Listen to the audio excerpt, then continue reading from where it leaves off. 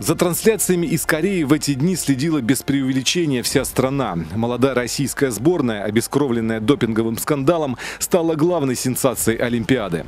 Зарубежные комментаторы мучительно пытались выговорить сложные фамилии, доселе практически никому неизвестных российских лыжников. А вся Россия узнала о селе Подывотье Севского района Брянской области, где родился лидер сборной Александр Большунов. Когда я смотрел, когда бежали, просто мне слезы текли. Я тогда вот отцу, когда звонил, он действительно, вот, ну, вот я понимаю, что 27 год же, да?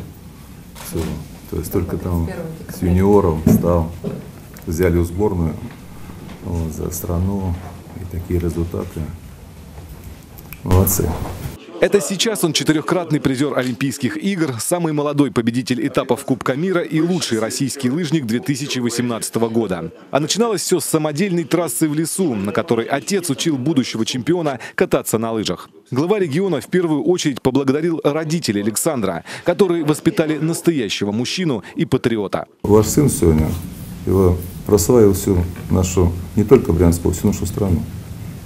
Вот это вот пример, он сегодня пример для нашего подрастающего поколения, для пропаганды спорта и для просто для престижа э, нашим ребятишкам. Потому что вот когда вот э, победил ваш сын, то многие же пошли куда? В секции лыжных гонок.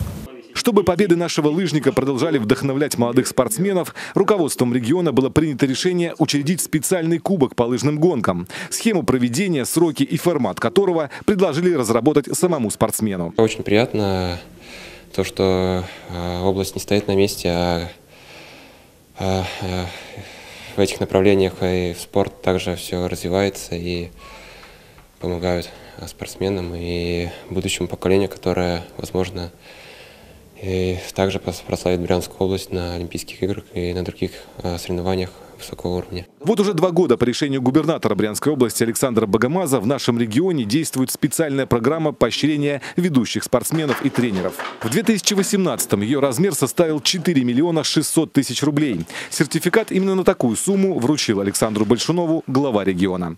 Дмитрий Кузнецов, Владимир Сидоров. События. Брянск.